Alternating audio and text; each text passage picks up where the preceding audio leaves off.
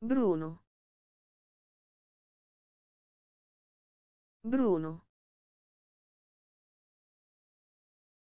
Grazie per aver visto questo video, lascia like.